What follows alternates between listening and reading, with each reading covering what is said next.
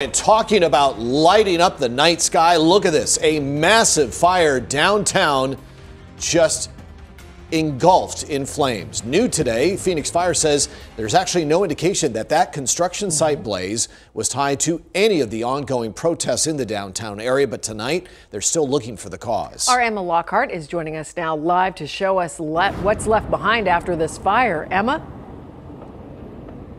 Well, this construction site is a total loss. Take a look at the destruction that we are seeing this evening.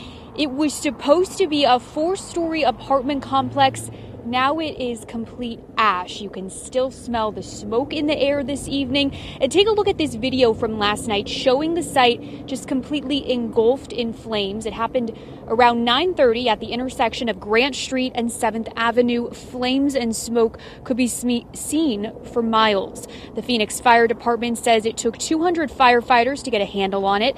The fire was still burning this morning as crews worked to put out hot spots.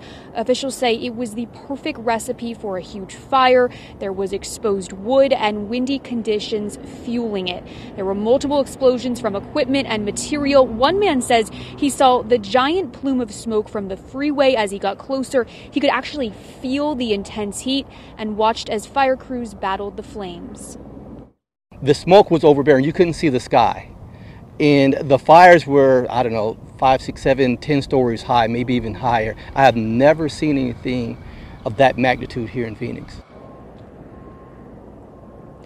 Well, fire officials say they worked to protect other buildings in the area. Business owners in the industrial complex just to the west of the fire tell me they were concerned last night. Thankfully, the fire did not spread to other buildings. Now, the cause of the fire is still under investigation. They are looking at surveillance video and talking with witnesses. For now, I'm going to send it back to you guys in the studio.